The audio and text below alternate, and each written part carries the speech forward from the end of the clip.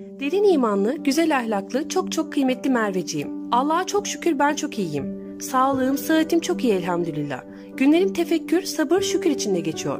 Hapis ortamının yıpratıcı olduğunu düşünürdüm ama kalbi Allah'la olan için müthiş bir nimetmiş. Allah'a daha yakınlaşmak, imanda derinleşmek, sabrımı güçlendirmek, Kur'an'ı daha dikkatli okuyup tefekkür etmem için çok güzel bir imkan oldu. Allah beni medrese Yusufi ile şereflendirdiği için çok şükrediyorum. Bu eğitimhanenin bende etkisi çok büyük oldu.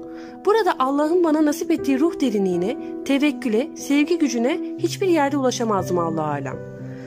Allah'ın lütfu ve korumasıyla kuşatmış olduğu Medrese-i Yusufiye'de bir yılımızı tamamladık. Zaman geçtikçe burada geçirdiğim her anın, her saniyenin değerini, kıymetini daha iyi anlıyorum. Kovulmuş şeytandan Allah'a sığınırım. Şüphesiz ki benim koruyanım kitabı indiren Allah'tır ve o bütün salih kullarını görüp gözetir. Araf suresi 196. ayet. Allah'a güven, vekil olarak Allah yeter. Ahzab suresi 3. ayet.